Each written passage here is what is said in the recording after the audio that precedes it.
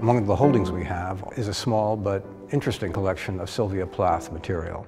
This is a cat that she drew, uh, and she says, here's a cat traced from your library book called Mewers Can Be Fun.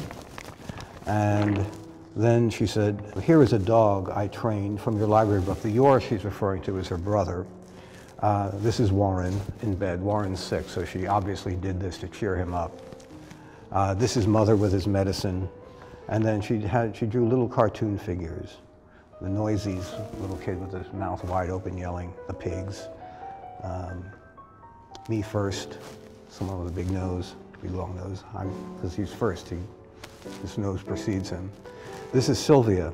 She smiles and is polite. Here is a list for a camping trip. There's a drawing here, I should say, of the campsite itself. And then there's this list of materials that she's going to bring with her. Two bathing suits and shoes, two pajamas, bathrobe and underwear. Uh, she's also done some rubbings of a half dollar.